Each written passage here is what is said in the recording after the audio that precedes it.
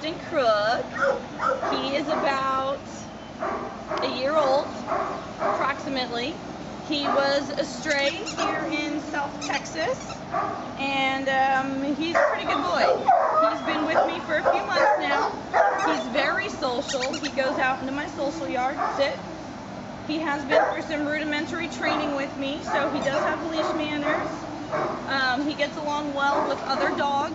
Um, he, he has a typical American Bulldog brain. He is He will, he can be a little annoying to other dogs. So even though he's very social, um, you know, he needs a, a patient, calmer dog, and um, he would love, he would love a bear. He gets along great with kids.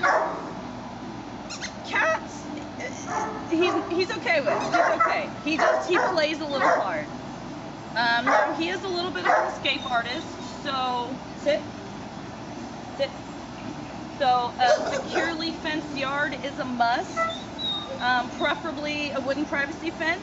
Um, we do believe he can climb chain link, although he's never done it here. When he's happy, he's good, but if you leave him alone in the backyard, he's going to escape.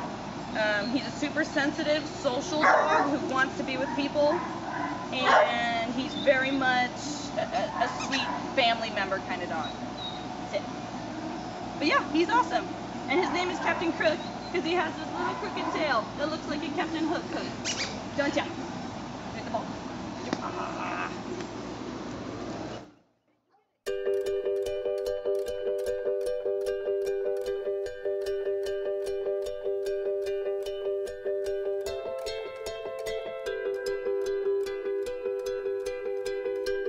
Happiness hit her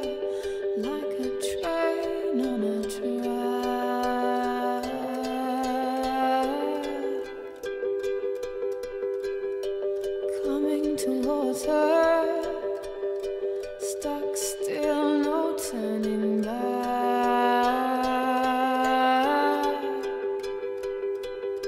She hid around corners and she hid